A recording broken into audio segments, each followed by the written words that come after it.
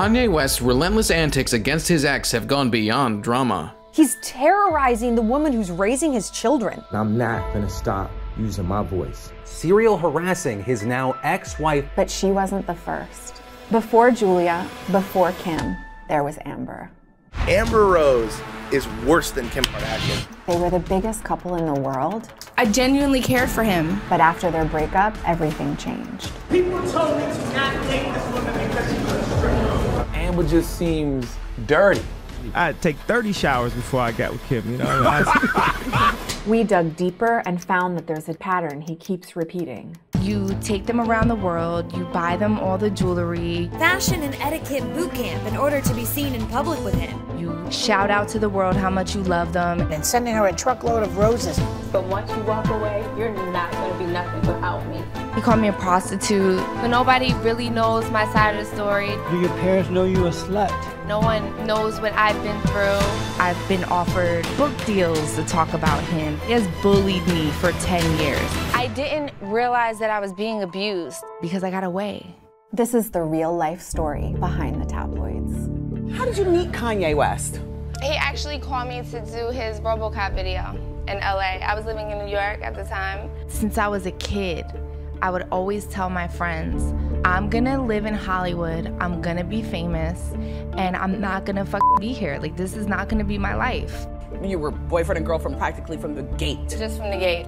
When Amber met Kanye, she was working as a stripper, and he was one of the biggest rappers in the world.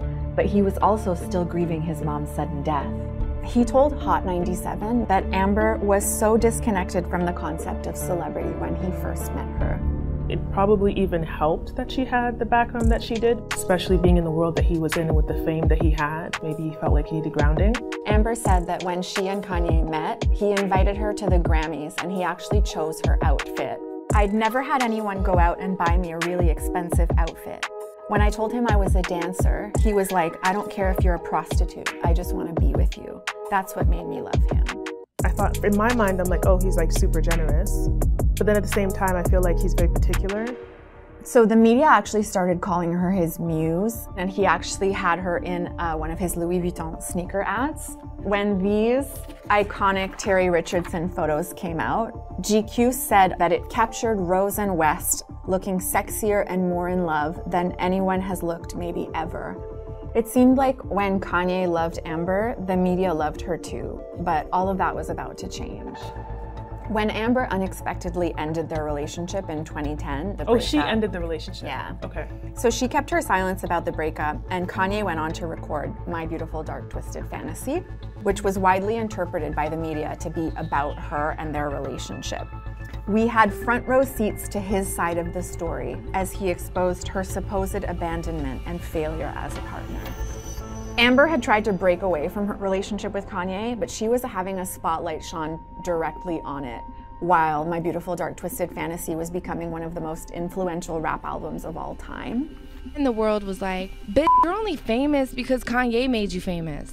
To have that type of a lifestyle with a man and then not have it anymore, but still walk out my house and still have paparazzi outside, yeah. but with no money I heard that like after y'all broke up, you got like a million, but you couldn't speak on his name no more. It's right, well, alternative right. facts. It's fake news. It's not real. I've been offered book deals to talk about him, and I don't want money from stuff like that. That's not good. Not all money is good money. That's not. I don't live my life like that. That wouldn't make me happy. I respect that because she could have made some easy money. The fact that Amber chose to walk away with nothing, even though she'd already experienced poverty and homelessness, honestly makes me wonder like how bad it had to be for her to put herself through that again. So why did they actually break up? We don't know for sure, but here's what Amber said about it. When Kanye was in Philly, he said, you know, I used to tell you you didn't you didn't look right in that outfit. Your hair wasn't pretty. When you're with a man that talks to you like that, it does affect your confidence. He may have thought, I made you. I made mm-hmm. you famous, but once you walk away, you're not going to be nothing without me. Amber told Complex magazine, I don't hate him. I want him to find a girl and for him to treat her better than he treated me. The next girl, she doesn't deserve that. Amber moved on with Wiz Khalifa and they had a baby, and things seemed to quiet down for her until 2012 when Kanye and Kim announced their new relationship. Amber dropped a bomb when she told Star Magazine that Kim was the reason she had broken up with Kanye. Oh. And Kanye and the media both turned on her. If Kim had like dated me when I first wanted to be with her, it wouldn't be an Amber Rose. You know what I'm saying? Like I had to, I had to take 30 showers before I got with Kim. You know, I mean, That's ridiculous because did he not say that he would love her if she was a prostitute? But instead of going after Kanye, Amber went after Kim. She retaliated in a tweet saying, I'll leave that up to the Kardashians to humiliate you when they're done with you. And the backlash spiraled out of control. I'm getting bullied by one of the most famous people in the world. I have people throwing things at me in the street because they're fans of Kanye. Everyone is against me like I did something wrong. Yeah. When I literally just fell in love with a famous guy. I'm just crying because I don't deserve to be bullied like that. It just doesn't make any sense to me when someone genuinely appreciates someone at some point in time and then can turn on them because they're not getting what they want from them anymore. But like, where is the switch? Like, how? What, what happened to you? But there were people close to Amber that could see what she was going through. I don't think the route is to trash someone we know you were in love with. He went from stadium to stadium and he would do a rant about how much he loved Amber. But you are not gonna make us forget that you cried about that girl for a year straight. As Amber got some distance from the relationship, she started to get some perspective on it too. I didn't realize that I was being abused because I always felt like I was a strong woman after talking to the therapist. She told me it's equivalent to constantly getting beat up every day. And I felt like I was getting beat up, but I was embarrassed about it and I didn't know how to talk to anyone. Emotional abuse does not get the same weight that other kinds of abuse does. Humiliation keeps you from speaking on it. You're not gonna control my every move. You're not gonna tell me what I need to wear. You're not gonna tell me where I need to go and who to be friends with. I don't have time for that shit. Kanye and the media were pitting them against each other, but if anyone could see what was coming next for Kim, it might have been Amber. Kanye is coming over today and he's giving me a full clothing makeover. Wait, you gotta like ready, clean out everything. Our whole trade off was that, like, if I got rid of all my clothes, he would fill up my closet. But I'm freaking out. And even years later, Kanye was still shaping and controlling Kim's image until she'd had enough. You are my wife, and it affects me when pictures are too sexy. You built me up to have be this like sexy person and all this stuff. Yeah. And just because you're on a journey and you're on your transformation doesn't mean that I'm in the right I'm in the same spot with you. And even though Amber had bullied Kim in the past, she actually addressed that herself. You don't blame the woman when your man does you wrong. I actually feel bad that I called her a homewrecker. I just like acted on my emotions when I said it. Everyone in a relationship, especially post a relationship, is emotional and upset. I think it was a really human experience for her to be upset and kind of like pointing the blame at someone. They're just having this on a larger scale because everyone is watching.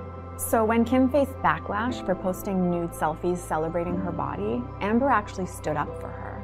I thought she looked beautiful. I think she's a great mom, and I'm gonna pick up for Kim. People think that me and Kim are arch enemies, and we're not.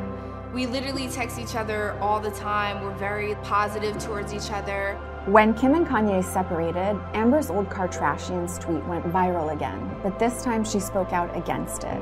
Kim nor her sisters deserved that, and it was immature of her to involve the Kardashians in the mess Kanye made. They both have gone through the same experience. So I think that there is a level of empathy that might be there. Amber took what people criticized her for and she turned it into a superpower.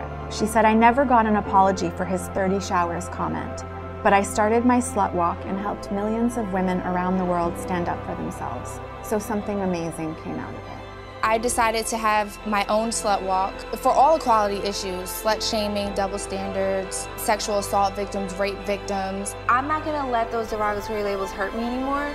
I'm just gonna embrace them. I told all the women I will take all the punches for you guys. When you find yourself in a relationship where someone makes you feel very small, you feel like you'll be nothing without them. It just goes to show that there was always something within her that was special. No matter what circumstances a partner puts you in, you still have power inside of you. You can take back control.